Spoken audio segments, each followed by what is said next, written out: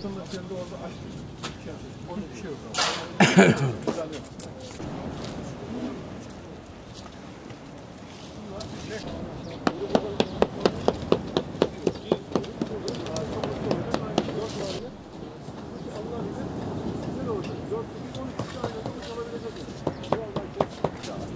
Ama değil ya, yarın denetim var. Ha, yarın, yarın, yarın denetim var. Ayak bak.